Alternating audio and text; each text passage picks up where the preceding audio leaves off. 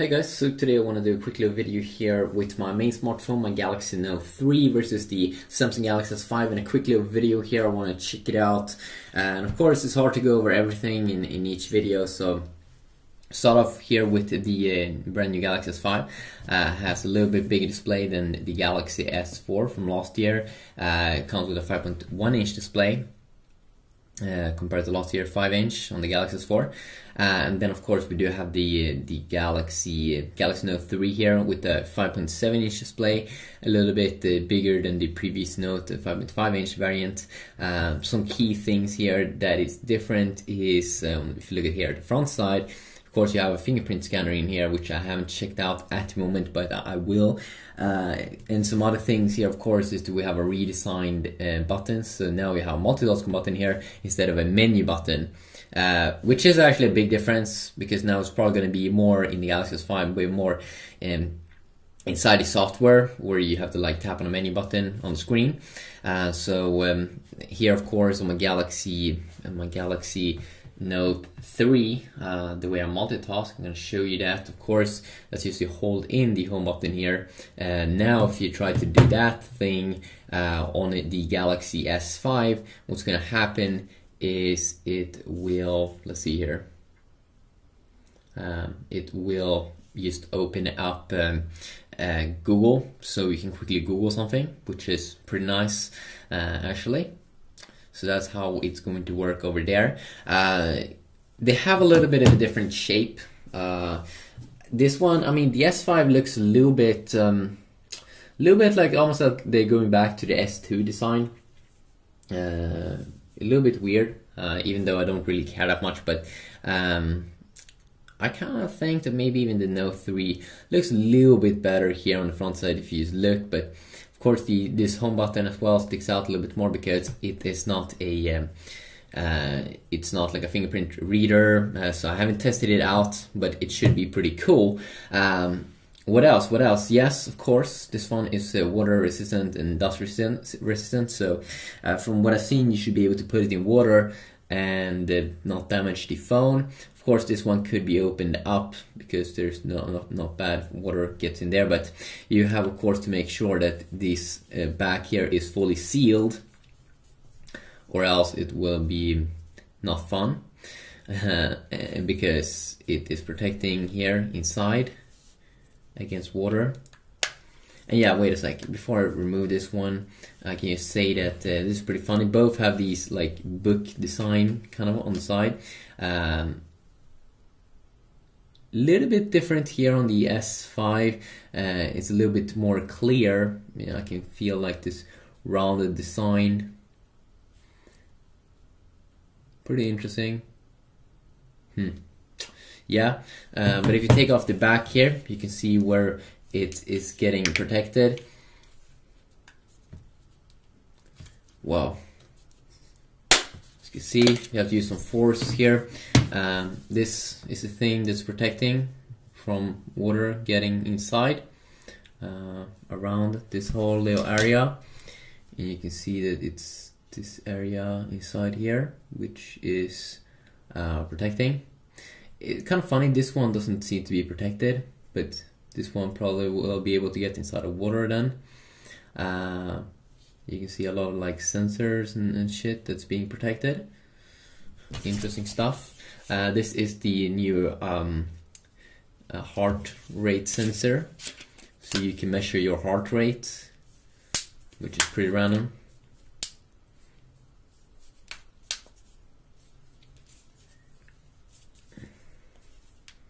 I'm also getting paranoid when I'm putting this one on. If it is fully sealed, as you see, I mean, if you miss at an area, that's not going to be fun. Uh, from what I've heard from the sound, uh, the sound could definitely be better. I mean, they definitely got a lot to work on that Samsung. Stay here on the back, which is not super good. Uh, seems to have an opening though.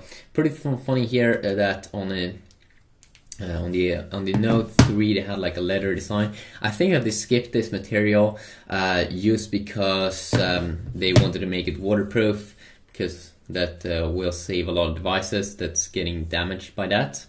Um, so this one has like a um, like the dotted pattern on the back, which doesn't really look that bad, but I don't think I 100% is like something like wow, um, not something revolutionary. Uh, you can see that it has a way more flat UI look uh, on buttons or on icons and stuff. Like look at the internet icon, looks totally different. Like a flat UI look. Um, and also in here, more of a rounded off design. Uh, in the brand new Galaxy S5. I kind of like it actually, uh, I like it a lot. Uh, I think it looks modern, or at least better than the old version here of uh, uh, of TouchWiz. Uh, definitely looks way more cool inside of the menus here, where you can see these um, rounded off icons. Looks pretty fresh, I think. Uh, and also, what you can do here is you can go to the normal tab view as well if you want that.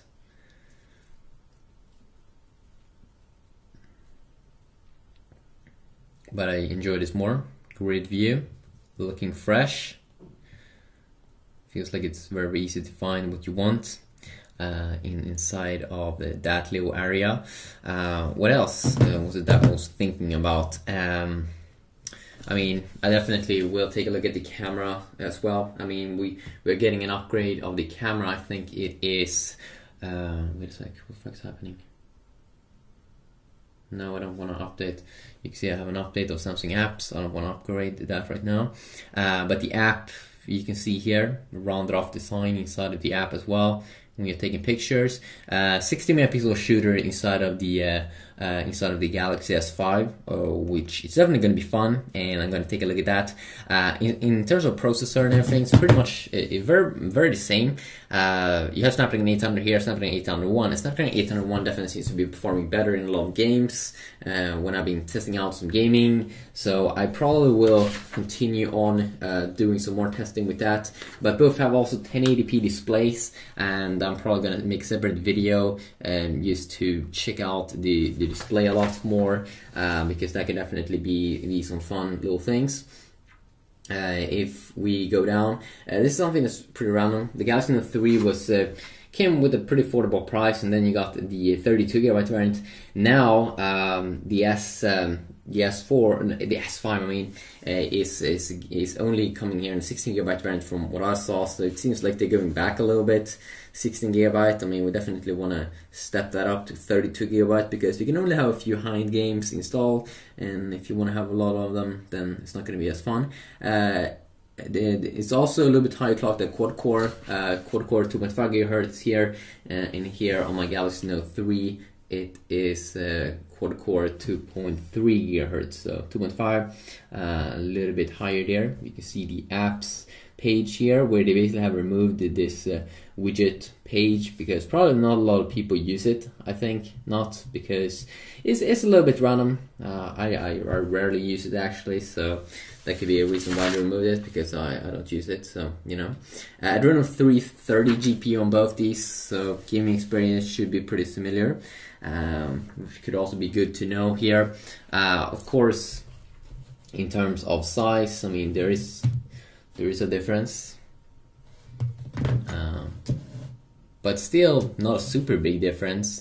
I mean, you get some extra screen space on this boy, definitely. And you get this like um, that you don't have to be as careful. You can see a new animation here. But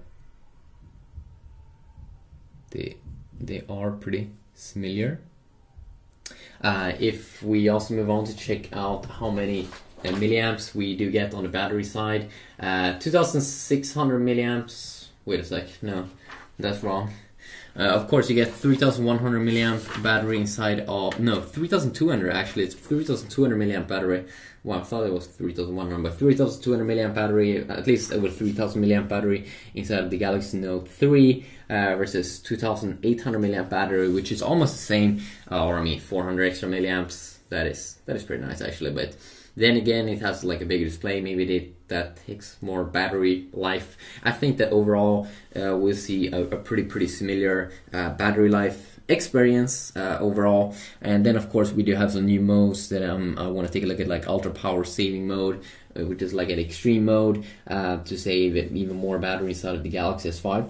Uh, you can also see that the menus um, looks a little bit more clean on the sides. They cleaned it up a little bit, so it looks a little bit more fresh. You can see how many days you can use the device almost in ultra power saving mode. So it doesn't use any colors, like only like black and white, and that's that's probably to save you more battery. Um, you can still use the internet browser. You can still call people, message, text people, and, and, and, and have some fun with that.